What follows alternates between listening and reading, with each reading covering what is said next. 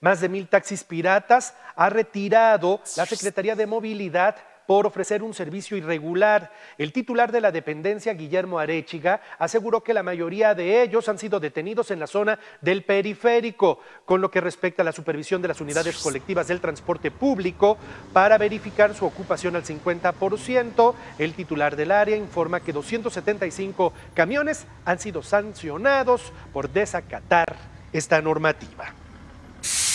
Lo que nosotros tenemos en este momento ubicado en razón de aforo en el transporte público de movilidad es que apenas están alrededor del 45-50% del aforo que cotidianamente se tiene en los transportes.